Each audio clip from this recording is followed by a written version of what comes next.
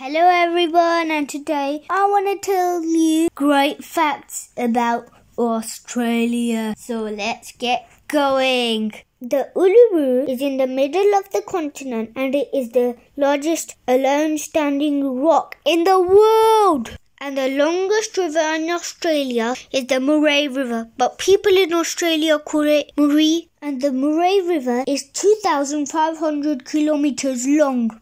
Australia is the most largest exporter of coal.